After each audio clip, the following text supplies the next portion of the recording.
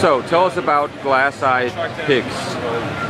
What is Uh, that? Glass Eye Pix is my uh, independent film company, and uh, I'm a director. I made movies like Habits and uh, Wendigo and The Last Winter, but uh, I've also supported other filmmakers, and we've built a little community out of it. Ti West uh, has made several films with me. Uh, also, my compatriots here at Comic Con, uh, Glenn McQuaid made a film called um, I Sell the Dead, and Jim McKenney has made four films with us, including Satan Hates You, which is coming out uh, this October. And uh, we make uh, sort of alternative, atmospheric, low-budget, philosophical horror pictures. I Can See You, I Sell the Dead, The House of the Devil, uh, and, and actually many, many others.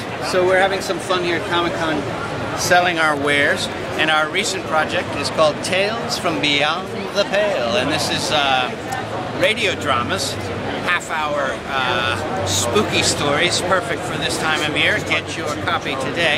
You can get it on Amazon or uh, downloadable on iTunes coming up. And what's the best thing about coming to conventions like this?